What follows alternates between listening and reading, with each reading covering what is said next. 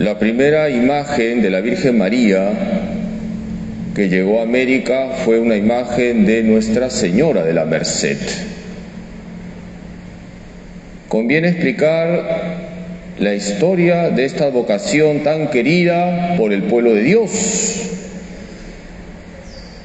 Para ello tenemos que irnos al siglo XIII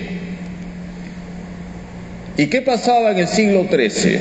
Pasaba lo siguiente, algo muy doloroso. Los musulmanes capturaban a los cristianos, los volvían esclavos. Y para liberarlos pedían dinero.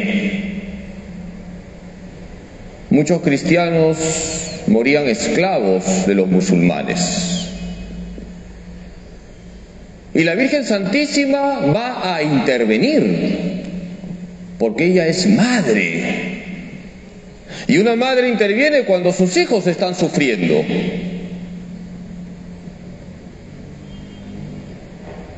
Y en la noche del primero al 2 de agosto de 1218 la Virgen se aparece a San Pedro Nolasco y le pide que funde una orden religiosa para rescatar a los cristianos. Y entonces aparece la orden de la Merced, los mercedarios. El carisma de los mercedarios será buscar la liberación de los cristianos que estaban esclavizados por los musulmanes. Y ellos mismos se entregaban, canjeándose por sus hermanos.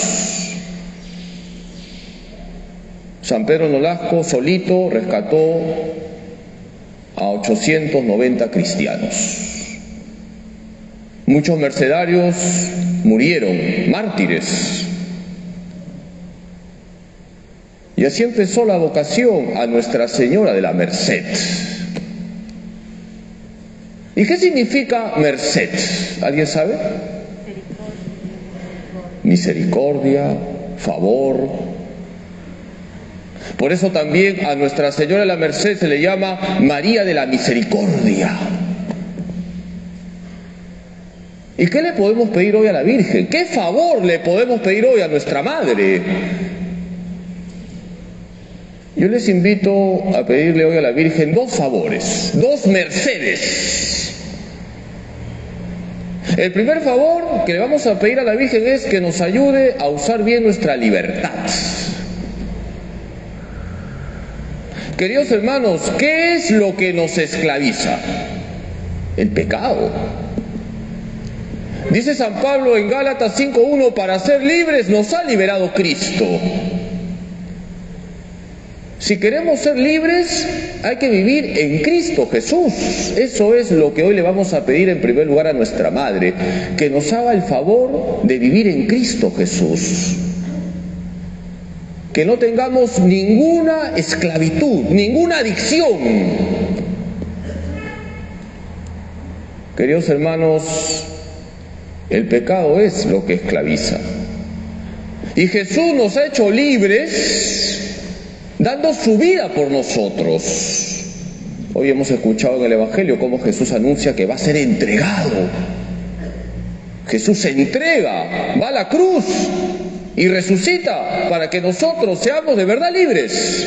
Hemos costado la sangre de Cristo. No pisoteemos la sangre de Cristo viviendo en pecado. Hay que ejercer bien nuestra libertad. Hoy en la primera lectura, un pasaje del Eclesiastés, se nos habla de los jóvenes. ¿Qué nos ha dicho la primera lectura? Nos habla de los años locos de la juventud. ¿Cuántos jóvenes hacen de la libertad libertinaje? Y hoy hemos escuchado en la primera lectura cómo se nos dice Joven, acuérdate de tu Creador, Acuérdate de tu Creador en los años de tu juventud. No hagas lo que te da la gana. Eso no es libertad. Eso es libertinaje.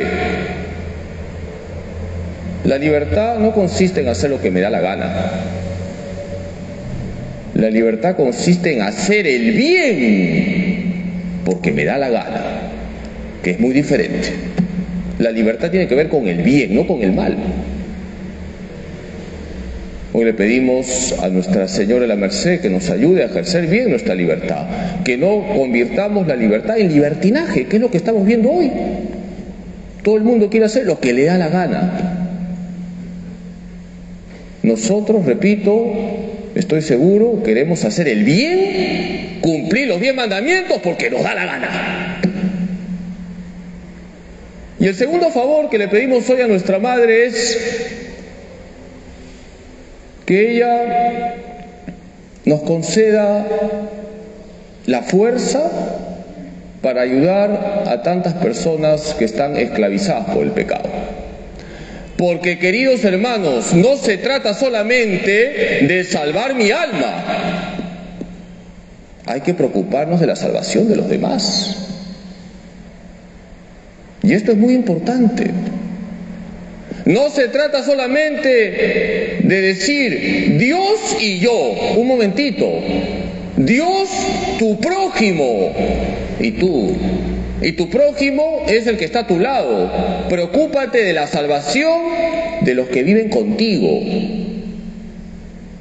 Quizás muchos de los que viven contigo están esclavizados por el pecado. ¿Y tú qué estás haciendo? ¿Te estás preocupando de la salvación de los tuyos? Tienes una gran aliada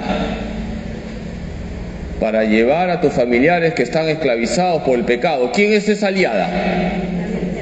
Nuestra Señora de la Merced. La Virgen rompe cadenas porque ella nunca viene sola, siempre viene con Jesús, nuestro Señor. Y como les he dicho, para ser libres nos ha liberado Cristo. Hoy le pedimos a la Virgen Santísima que nos conceda esos dos favores, esas dos mercedes. Ejercer bien nuestra libertad y ayudar a los demás a que salgan de la esclavitud del pecado. Que así sea.